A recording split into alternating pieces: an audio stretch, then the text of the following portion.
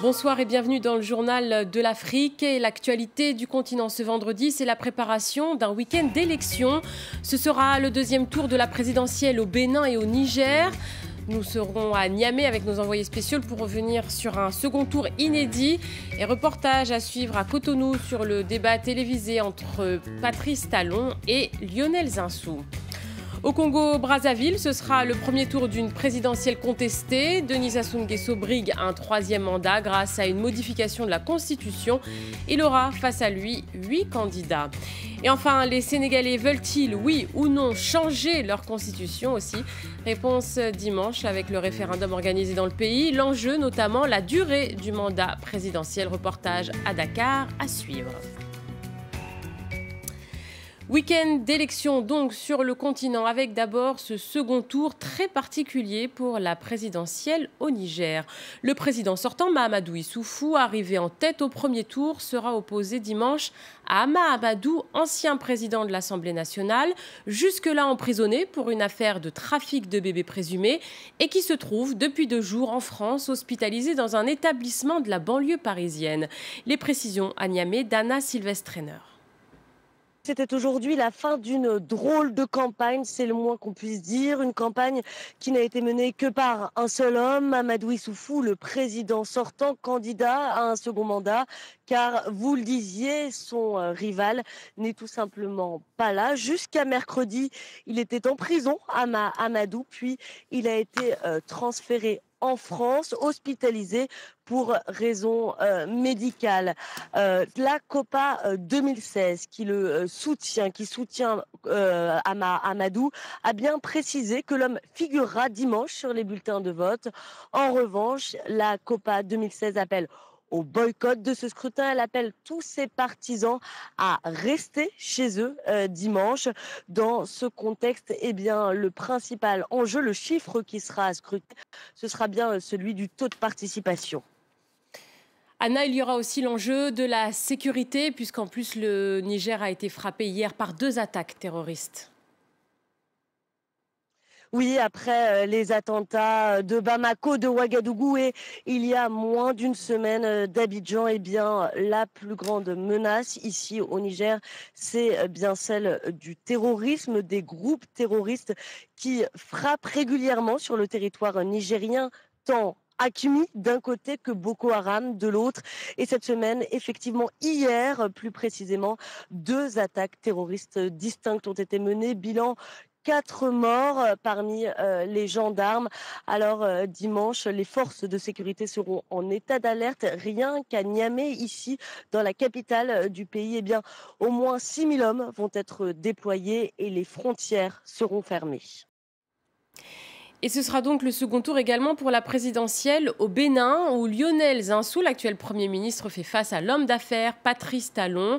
Les deux hommes se sont retrouvés lors d'un débat diffusé sur les télévisions et radios béninoises, une première dans le pays. Emmanuel Soji, notre correspondante, a suivi cette première avec les Béninois dans les rues de Cotonou. Reportage. Notre développement s'est trouvé complètement. Des candidats en duel sur un plateau de télévision, cela ne s'était jamais vu après un quart de siècle de démocratie. Patrice Talon attaque dès la première minute. Le principal bailleur de fonds pendant six ans du régime Yahi fustige la superpuissance du pouvoir exécutif. Il est malheureux de constater aujourd'hui que le pouvoir exécutif est devenu quelque chose de totalement pervers. Le Premier ministre Lionel Zinsou, choisi par le président Boni Yahi, défend le bilan de son mentor, même s'il reconnaît qu'il reste beaucoup à faire. Nous avons des compatriotes dans la misère, en fait, et nous devons tous collectivement parvenir à leur donner des nouvelles chances pour que tout le monde gagne à la croissance du Bénin. Vendredi matin, au plus grand point de ralliement des taxis-motos de la ville, les Cotonois refont le match. Il est quelqu'un, il s'humilie, il donne de bons exemples. Il dit le Bénin, c'est pour nous. Le Bénin, c'est pour nous. Et c'est comme ça le Béninois. Aujourd'hui, on va faire avec ces sous on veut le Bénin tranquille. On veut seulement talent. On veut talent ou rien. On veut un changement total. Pour le scrutin de dimanche, Patrice Talon a le soutien de 17 anciens ministres du président sortant Boni Yahi et de la majorité des candidats malheureux du premier tour, Lionel Zinsou, quant à lui, à l'appui des deux plus grands partis d'opposition du Bénin. Et nous nous rendons maintenant au Congo-Brazzaville. On en est encore qu'au premier tour pour la présidentielle. Le scrutin aura lieu dimanche et c'est un scrutin qui fait polémique puisque Denis Sassou Nguesso a modifié la constitution en novembre afin de pouvoir se représenter et briguer un troisième mandat. Le président congolais est au pouvoir depuis 32 ans à Brazzaville. Face à lui, une opposition divisée. Ils sont huit à vouloir aussi accéder à la fonction suprême. Les précisions de Ben Barnier. Après 32 ans au pouvoir, Denis Sassou Nguesso compte bien être réélu pour un troisième mandat consécutif. Une candidature rendue possible suite à un changement constitutionnel insufflé par le président congolais. L'homme fort du Congo aura fait campagne jusqu'à vendredi. Je n'ai pas pu aller partout dans toutes les autres localités de l'intérieur du pays. Je demande des excuses. Mais, mais c'est parti remise partie remise parce que, euh, comme euh, pour nous, la victoire est certaine le 20 mars. Avec un total de 8 candidats, l'opposition reste divisée. Mais pour l'opposition, se hisser au second tour serait déjà une victoire. Monsieur Sassou Nguesso a bien travaillé comme il le prône. Nous disons bravo à Monsieur le Président Sassou Nguesso. Mais nous voulons l'alternance comme dans tous les pays du monde. Nous voulons l'alternance. On en a marre, on en a marre, alors on en a marre. 32 ans de pouvoir, ça suffit. L'opposition a créé sa propre commission électorale pour dénoncer d'éventuelles fraudes. Malgré tout, les opposants estiment qu'une alternative politique est peu probable, d'autant plus que les groupes pétroliers occidentaux implantés au Congo pourraient favoriser la stabilité. Et nous clôturons cette page élection dans le journal de l'Afrique par le référendum au Sénégal qui s'organise dimanche. Les Sénégalais devront voter et dire si oui ou non ils valident la réforme constitutionnelle proposée par le président Macky Sall, la réduction à 5 ans du mandat présidentiel, les nouveaux pouvoirs de l'Assemblée nationale ou encore des nouveaux droits pour les citoyens.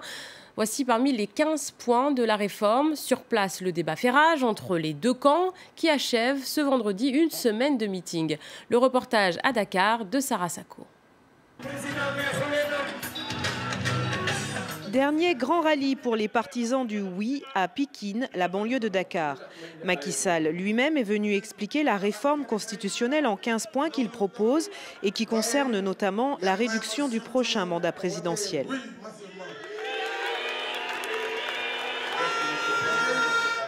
Le retour du quinquennat renouvelable une seule fois permettra de mettre notre pays à l'abri du soubresaut. Voilà un des éléments majeurs de la réforme. Mais je renforce à travers cette réforme du saupoudrage pour le Front du Non qui multiplie les campagnes de proximité avant son grand meeting vendredi soir. Leur principal argument, Macky Sall avait promis d'écourter son mandat en cours avant de se rétracter sur avis du Conseil constitutionnel il a décidé de renier sa parole, il a décidé de faire ce qu'on appelle parjure. Nous avons décidé de voter non pour tourner définitivement la page de la politique politicienne. Voter non, c'est revendiquer une autre façon de faire de la politique. Les deux camps ont jusqu'à vendredi minuit pour battre campagne avant de s'affronter dans les urnes dimanche. Et en bref, dans le reste de l'actualité africaine au Burundi, cette découverte de deux fausses communes dans le quartier de Chibitoke, quartier réputé contestataire. Cinq corps auraient déjà été déterrés et les fouilles continuent. Un site gazier a été attaqué dans la région d'Insala, dans le sud de l'Algérie. Une attaque à la roquette qui n'aurait pas fait de victimes ni de dégâts. Le site est exploité par des compagnies gazières étrangères comme BP et Statoil. Et enfin, Nicolas Sarkozy s'est rendu en Côte d'Ivoire pour rendre hommage aux 18 victimes de l'attentat de dimanche dans la station balnéaire de Grand Bassam. Il a ensuite rendu visite au président ivoirien Alassane Ouattara. Le président du Parti des Républicains a invité, je cite, tous ceux qui le souhaitent à venir en Côte d'Ivoire et de ne pas donner raison à ces barbares. Fin de citation.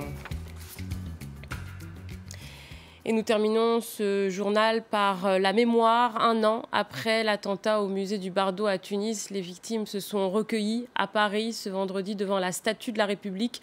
La plupart d'entre eux se considèrent comme oubliés par les autorités, alors que le ministre des Affaires étrangères, Jean-Marc Ayrault, participait ce jeudi à Tunis aux cérémonies du premier anniversaire de l'attentat où 21 touristes, dont 4 Français et un policier, ont été tués. Écoutez le témoignage de Fabienne. J'étais toujours derrière ce poteau qui m'a protégée, qui m'a évité, je pense, euh, la mort, mais je suis toujours assise derrière à voir euh, ce, cette barbarie, ce sang, ces, trous dans les murs. Je, suis toujours, je suis toujours là-haut. J'ai laissé une partie de moi-même et j'ai laissé euh, ma mère là-bas. Je n'arriverai jamais à me reconstruire comme j'étais avant. Et c'est la fin de ce journal de l'Afrique, mais restez sur France 24, l'information continue.